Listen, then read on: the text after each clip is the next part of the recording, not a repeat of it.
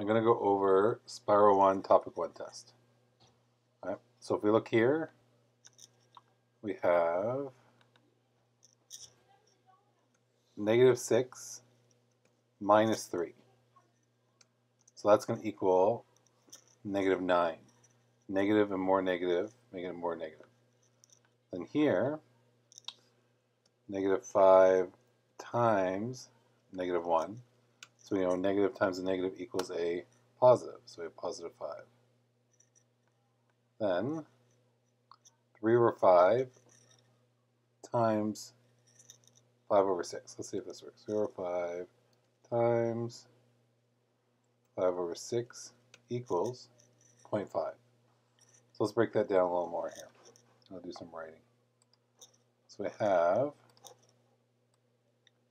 3 over 5 times 5 over 6. So when you multiply, we go straight across as such. So equals 15 over 30. And if we reduce that, it reduces to a half, which gives us the 0.5.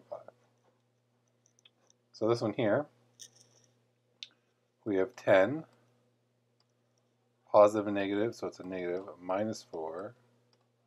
A negative and negative is a positive, so you have plus 16. So the way I think about it, I go 10 plus 16 is 26. 26 minus 4 is 22. Here we have a divide, division on the bottom, so let's do the top and the bottom before we mix it. So we have negative 6 plus 8 times negative 3. So we have to do that 8 times negative 3 first. So it's going to be negative 6. 8 times 3 is 24. A positive times negative is negative, so we have negative 24 over 11 minus positive 5. So 11 minus 5 is going to be 6. And this one here, we have a negative and negative, so it's going to be more negative. So it's going to be negative 30 over 6, which we can reduce that to negative 5. Since 6 goes into 35 times, a negative divided by a positive is a negative. So we have a fraction, so we need that fraction, we need a common denominator. In this case, the common denominator is going to be 28. If you don't know what it's going to be, you just multiply the 4, this denominator times this denominator, and likewise back and forth. So here we're going to go times 7, and here we're times by 4. So that gives us 21 over 28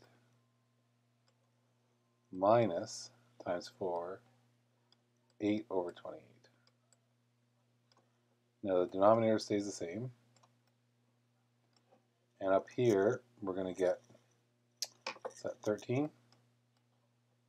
13 over 28.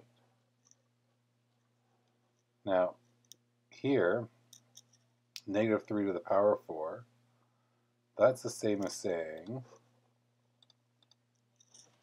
negative 3.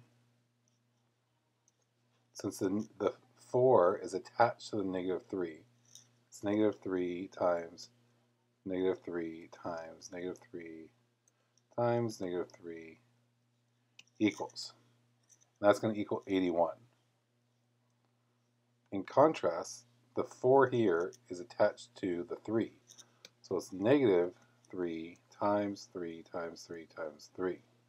So you can almost think is the negatives left by itself out there than the 3's. So that's going to be negative 81. Now this here, we have a division. 2 over 5 divided by 4 over 10.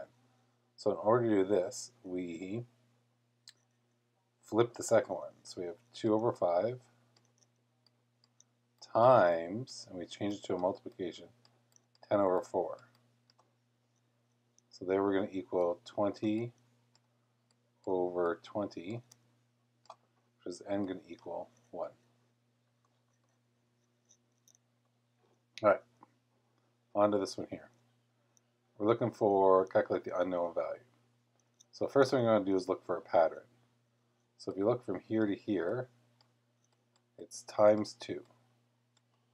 So the question is what number times 2 equals that? So the number that times 2 is equal to 10. And this one here, I like to rewrite it like such. I just like to see it a little better. 42. So the question is here, we times by 6 to go this way. So if we're going this way, we divide by 6. So 42, 42 divided by 6 is equal to 7. So that's what x is equal right there, 7. Now this one here is not quite the same. Since we there's no pattern. 7 doesn't go into 21 evenly. Right? So first thing I like to do is I like to rearrange it. So I have x on top. So I'm just going to flip everything. 31 over 20. Then personally, I like to go 31 divided by 20. So 31 divided by 20 equals 1.55. So that's going to equal x over 7 equals 1.55. Now we're going to bring this over. And it's a divide on this side, so it's going to become a multiply. It's going to have x equals 1.55 times 7. And that equals, it over here a little bit. 1.55 times 7 equals 10.85. So that's going to be my answer right there. Now, let's do these ones here. So, in order to go this way, we divide by 100 If we go around this way, we times by 100. In this case, we put this over 100. So 40 divided by 100 is going to equal 0 0.4. The fraction is 40 over 100, which if you reduce it, equals 2 over 5. The middle step between there is 4 over 10. But there's our answer right there. That's a horrible circle. There we go. Now, this one here, let's times it by 100. So we got 5.5. And this one here is over 100, but if we went over 100, we get a decimal place. It would be 5.5 over 100. That's a little messy. So let's cross that out. So let's go 55. We're going to go over a 1,000. Over a 1,000, which we can reduce to, what's that, 11 over 20 times 10, 200. Now this one here, we have to go 17 divided by 30, 13. So that's going to equal 1.3. We're going to times by 100, which will give us 130%.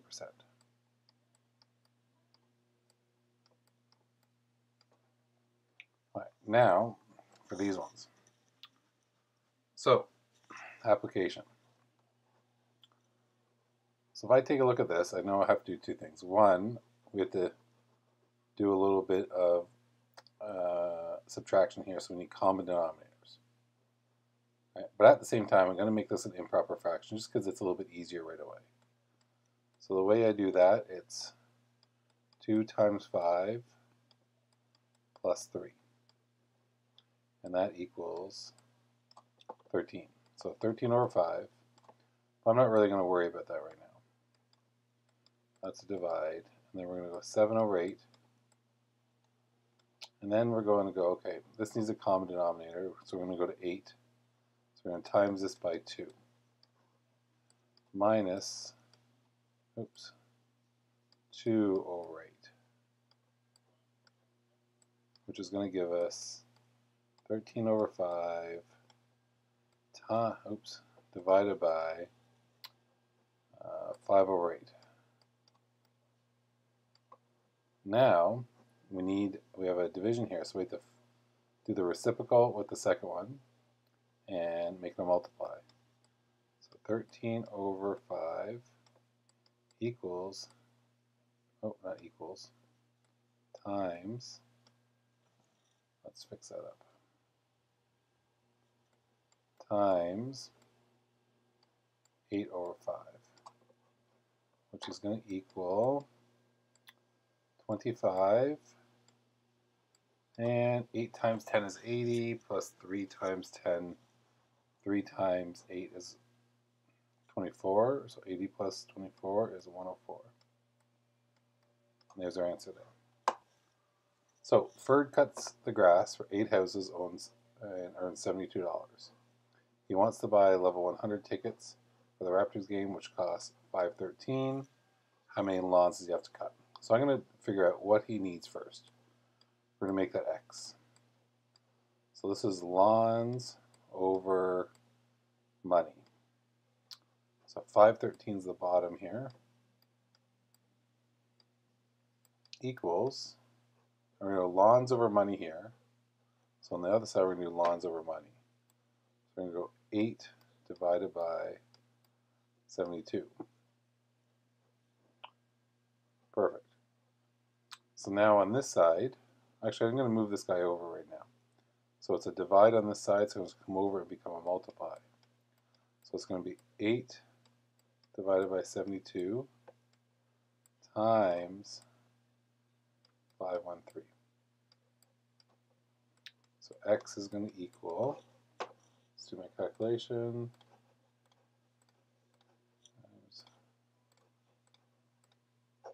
57 lines. He's going to have to cut 57 lines. And then to get full marks, we have to write bird needs to cut 57 lawns to raise $513. Okay, ice cream parlor, two stores, 500 mils for $5.99 while the Creamatorium sells one liter for this. So we need a unit price. So I'm going to take it down to the milliliter, for lack of a term. And we always buy its price per unit. So that would mean I would do 5.99 over 500. For the other one, it's going to be 1050 over 1 liter has 1,000 milliliters. I'll plug that in my calculator over here, which you guys don't see. So this is equal to 0 0.01198, while the other one is equal to 0 0.0105. So you can tell by that sense that this is your answer here. So next up is asking, asking us to say 35% of the students in St. James play on sports team. 877 students, how many teams? So let's convert that into a number. So that would equal 35 divided by 100 gives us 35% as a number. So then we take that 35% by and we multiply it by the total number of students. Oh, I forgot the point, which might make a difference in my calculation a little bit. Try this over again. Boom. So, 307 students play a sport. If I were to go back here, I would say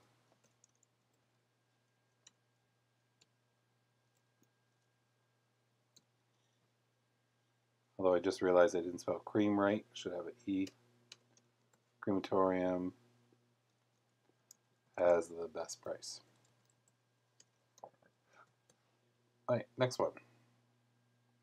Three players on a hockey team score 165 points in season. The players score a ratio of 236. How many for each? So first thing we have to do is total up the total ratio. So that would be 2 plus 3 plus 6 equals 11. So we know there's 11 parts. So we have to find out what one part is. So we take the total and we divide it by the number of parts. So now one part is 15. So we take the parts and then we multiply it by each player. So 2 for this player. There's 3 for this player. And there are 6 for this player. So there's your three scores. The players scored 30, 45, and 90 points. Lastly, Mia forgot to pay her bill, so the penalty for getting is 28%. Previous bill is this. What's on her next bill? So by going up 28%, her percentage is actually going to be 128% for her next bill. So we're going to change that into a percentage by going 128 divided by 100, which equals 1.28, and then we're going to multiply that by her previous balance of 76.54. And that's going to give us our answer. And lastly, we need to create a BEDMAS question. The key here is to read the question, where it says it must contain a fraction and it has a different number of operations. So for example, a question such as this, 2 over 3 bracket 3 over 5 divided by 2 plus 5 and let's say we do 2 plus 5 times 3. That would be a question that would be in this range here. And it depends on how you answer it to how well you do. If I were to draw something awesome, um, let me see if I can quickly draw something awesome here.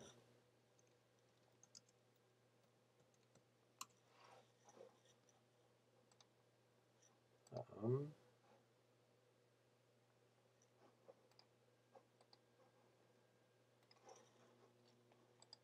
I do believe this is pretty awesome. Because that happens in the ocean every day. Alright, with that being said, that's awesome. And there's your review for quiz one.